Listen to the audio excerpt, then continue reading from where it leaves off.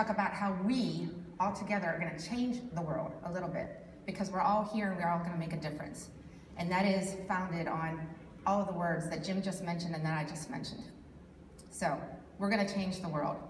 First, though, I thought let's talk, take a quick look at what is happening in the world around us today, and especially for many of us in this room that work in the chemical environment. These are the things that Covestro is focused on. Climate change. My goodness, what did we wake up to this morning? Another nor'easter heading into the eastern states, right? Second one in, in a week. Um, incredible. Last year we saw hurricane after hurricane. And actually, last week, I flew in Friday to the US, to Pittsburgh. That's my home base. I'm living in uh, Germany right now, Dusseldorf. Last week, I was on the phone with, um, with my people on Saturday and Monday, and they even, even said in Dusseldorf over the weekend, it's March 3rd. We had snow, and that's unheard of um, in March. We have a little bit of snow in, in December and January, but you can't deny that there's something going on with the, with the climate and the change. Second one, urbanization. Jim talked a few, gave a few stats on what's happening. Urbanization, I read yesterday, right now 50% of the world's population lives in cities. By 2050, that's gonna grow to 75%. 75% of us will live in major cities around the world. Demographic growth. Population is expanding.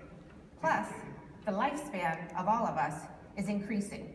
We're living longer, more fulfilled lives. And the last one, increased mobility. I will sneak in Uber there, Ellen. So yes, we all know about Uber, autonomous driving, and all sorts of um, different things. I will show you one, one example of how Covestro is supporting all of these mega trends that are going on in the world. And of course, you can't deny why we're all here.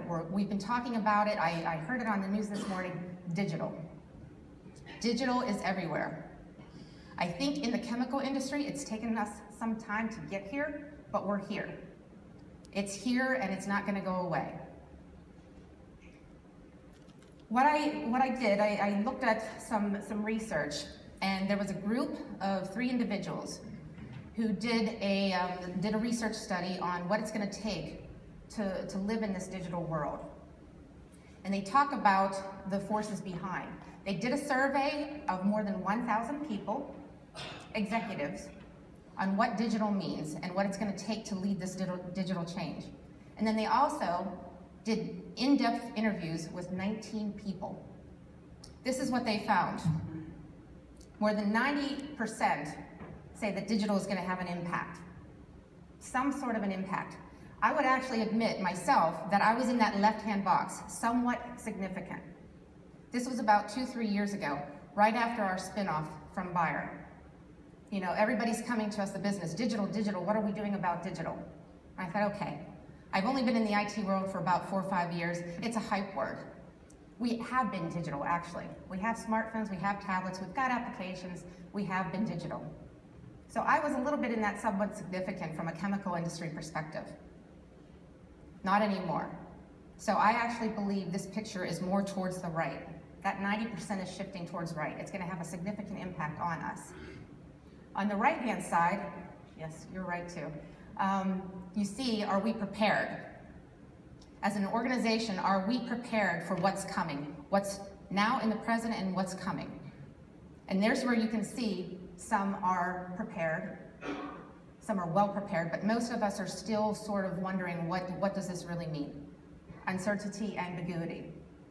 And they focused on leadership. From a leadership perspective, what are we going to need to take us through this digital world? And what they came up with, they, they, when they interviewed these 19 people and, and looked at the survey, they found a difference from the traditional leadership style to what it's going to take for leadership in a digital age. And they summarized it in, in the acronym, we love acronyms, HAVE. And that H, humility. And that's what I really want to go into to more details with you today about humility. Because for me, that's where it starts. We are going to be connected and we need to talk. We need to engage with one another. Engagement, listening, sharing our experiences, and humility.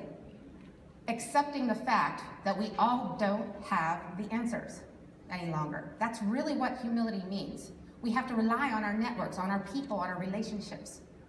And that's really where, where I see the future going.